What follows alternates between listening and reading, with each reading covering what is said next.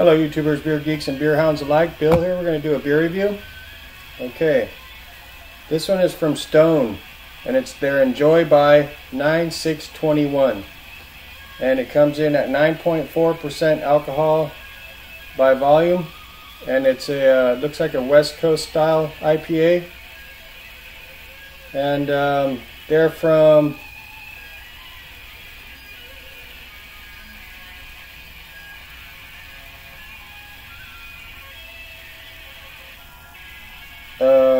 where are they from?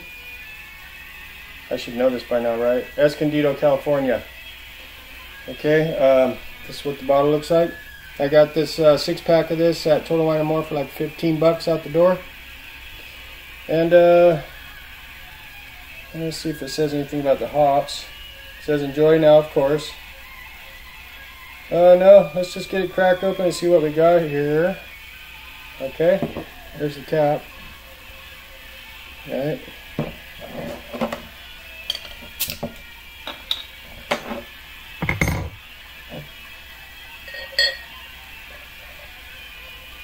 Definitely looks different than the last Enjoy By that came out. The other one, the last one that came out looked like a, a hazy. This one's definitely West Coast.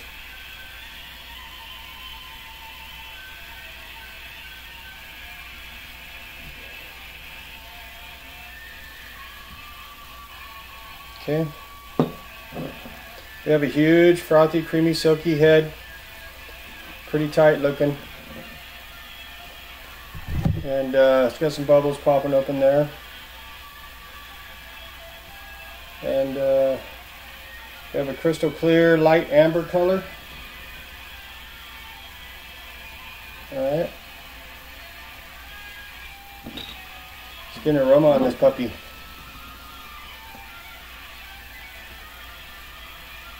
Yeah, we're getting kind of light, kind of pine and some earthy kind of hop notes.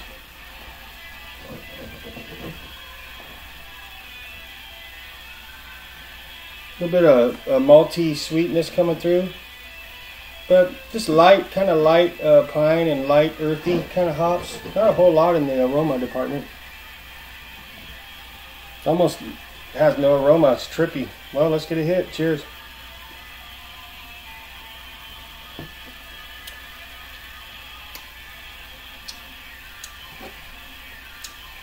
Okay.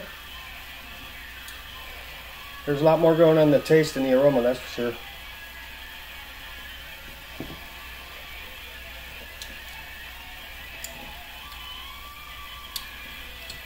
Yeah, pretty big pine notes and um, earthy hops.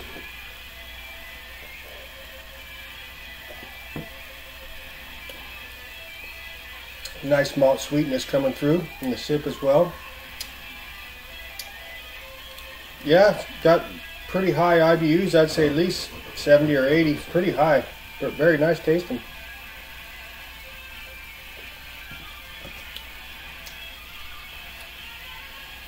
No booziness for nine, uh, over nine percent here. Uh, nine, nine, almost nine and a half percent. Um, definitely a West Coast style. Um, pine, kind of piney.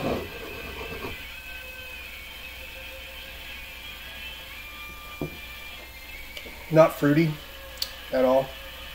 Just piney, kind of hoppy, earthy hop. Malt, nice, nice malt backbone going there. Balance out all them hops. Pretty much just a straightforward double light you know, IPA. Really well made.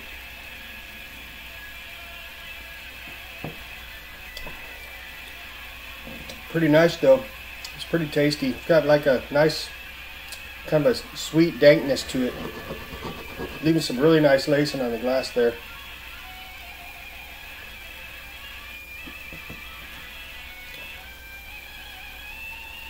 Yeah, it's not fruity, that's for sure.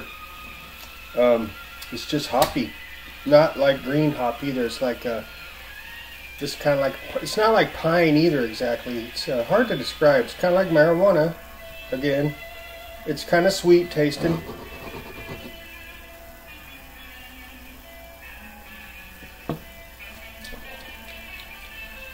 getting just a touch of tobacco in the aroma.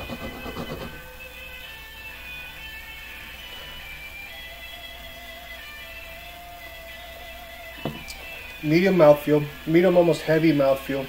Um, maybe there might be a touch of some booziness in there now that I'm chugging it pretty good.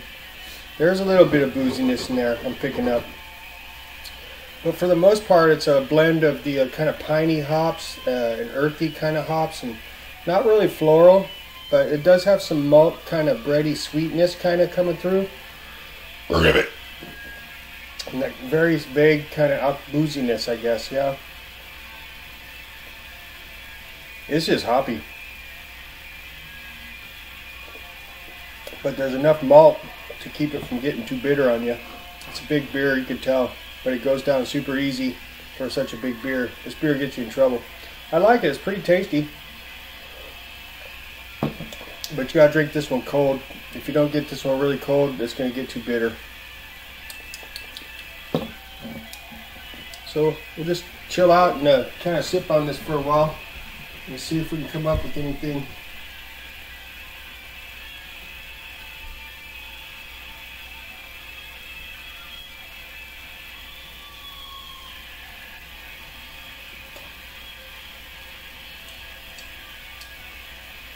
it's not really super defined on anything, but it's there. I mean, look at that lacing it's leaving on the glass. It's just really nice.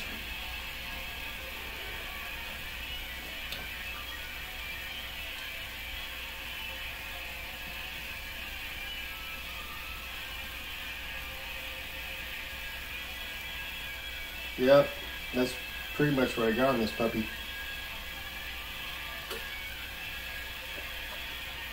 Not the best Enjoy by series I've ever had. Uh, it's a little one-dimensional, um, not very complex at all, but it's very well made for sure. Um, I like the last one that was out much better, the hazy one. Um, I mean, for a West Coast style, it's super good. Uh, maybe a little bit over the top with the hops and the malt, I think, you know. But I think this one might be geared a little more towards uh, getting you there quicker, you know what I mean? It's just a nice blend of the earthy hops and the, the piney kind of hops. And the malt, it's, it's well balanced with those three.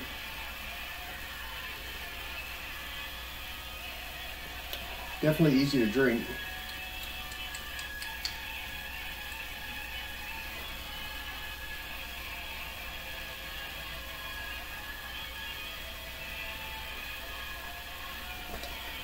Wow.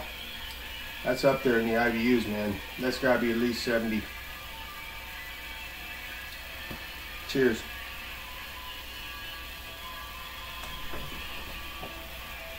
Nothing but foam. All right. So on a scale of one to five stars, uh, two and a half being C average. Um, man,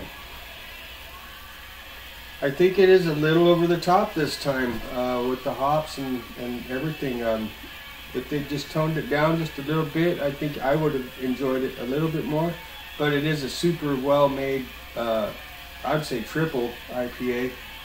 Uh, with that said, I'm going to give this a solid 4.3.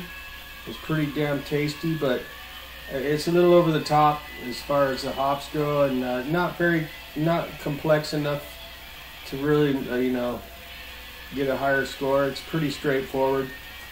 So that's my score, and I'm going to stick with that. Hit the little bell if you want to get notified about the um, future reviews, and uh, hit the like button. Subscribe if you'd like to. That'd be great. Uh, appreciate y'all stopping by and checking it out. Um, it's a decent beer. All right, y'all have an awesome morning. We'll catch you later, okay? See ya.